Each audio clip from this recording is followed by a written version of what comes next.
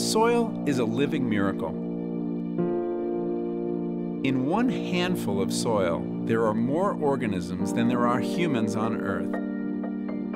And we are only beginning to understand this vast network of beings right beneath our feet. We rely on healthy soil for 95% of what we eat. Yet, we take it for granted.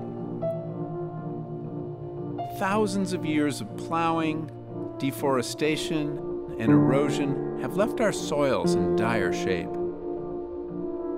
And we're accelerating the loss of this essential resource. But there's a lot more to the story. When soil is damaged, it releases carbon dioxide into the atmosphere, and this has had serious consequences for the climate. Too much carbon in the atmosphere is causing the Earth to overheat. That excess carbon is also acidifying our oceans, threatening marine life.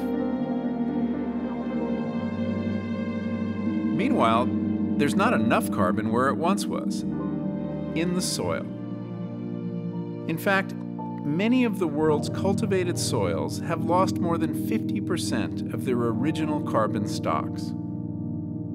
But there's actually some good news. We now know how to put carbon back in the soil where it belongs. Plants capture carbon dioxide in their leaves and pump the carbon down through their roots to feed hungry microorganisms living in the soil.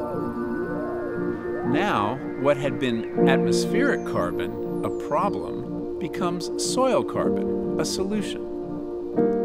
Practices like keeping soil covered with plants, increasing crop diversity, composting, and carefully planned grazing are proven ways to put carbon back into the soil.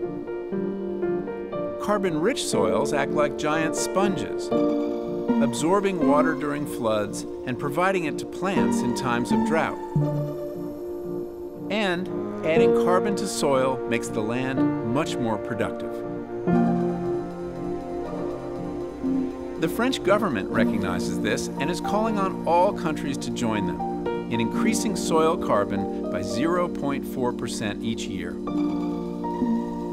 If every nation were to reach this ambitious but achievable goal, we could store 75% of global annual greenhouse gas emissions, enough to make a real difference to our planet's future well-being. Of course, we still need to reduce our fossil fuel emissions, but we don't need to develop expensive or risky technologies. Instead, what we need is a lot more photosynthesis. Climate change can be overwhelming, yet there is real hope. Healthy soil can be a major sink for carbon. But this fact hasn't been well known until now because now we know a soil solution is right beneath our feet.